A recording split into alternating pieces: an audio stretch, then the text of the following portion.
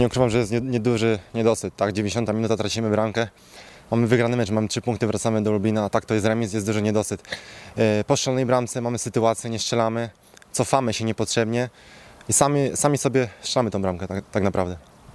Indywidualnie masz za to powody do zadowolenia, bo trafiłeś po raz kolejny do siatki, a to napastnika zawsze powinno cieszyć. Tak, bra- bramka mnie cieszy, ale lepiej gdyby to były 3 punkty, tak bardziej by cieszyło. Drugi remis z rzędu y, na pewno cieszy fakt, że są punkty regularnie zdobywane. Tak, to prawda, ale klub jak jest Motor Lubin, e, my się z remisu nie cieszymy.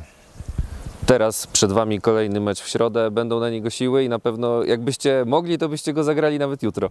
Tak, na pewno będziemy przygotowani na 100% i od jutra już myślimy o biegach Suwałki.